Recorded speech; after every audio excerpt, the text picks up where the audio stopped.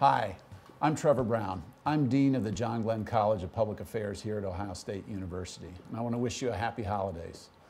At the end of each year, we take stock of the past year, think about all the things that, that we've accomplished. And it's been a really great year here at the Glenn College.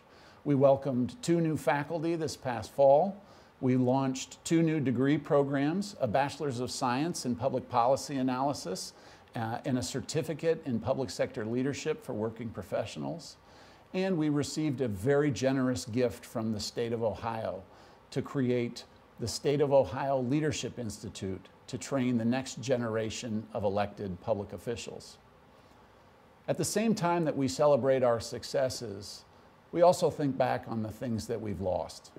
And this year in particular was a hard year for the Glenn College. We lost our namesake on December 8th this past year, John Glenn. Senator Glenn is not only the namesake of the Glenn College, he is truly the spirit and the heart of why we come to work every day here at Page Hall. A fun little anecdote about Senator Glenn. Each day when he came to the office, he came and he touched this globe and he would say, Hey, I'm turning on the world. And at the end of the day, he would turn it off. As he got older, and his journeys here were less frequent, he would call his assistant, Kathy Dancy, and say, Hey, Kathy, don't forget to turn on the world. And she would come in and she would turn on this lovely globe. And at the end of the day, she'd turn it off. Almost a year ago, uh, no one had been in this office for a couple of weeks.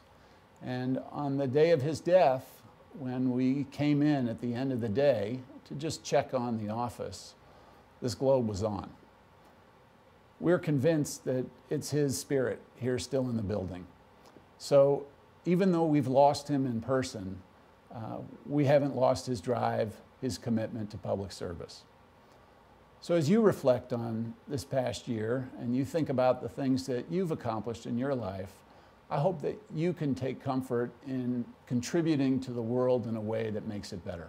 That was Senator Glenn's great hope for all of us. And as you look forward into the next year, uh, I hope that you will continue in that commitment to public service. Again, it's what drives us here at the John Glenn College of Public Affairs. For those of you who've given, and many of you have, whether as alums with your time and energy, uh, or as donors who've contributed to our programs or our scholarship efforts, I want to thank you. And as you think about ways to give into the future, those are pressing needs for us uh, going forward.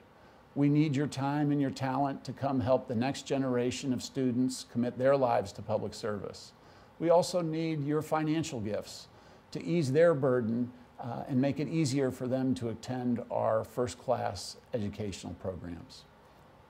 So once again, thank you for your contributions to the John Glenn College. I hope you have a happy holidays and a good new year.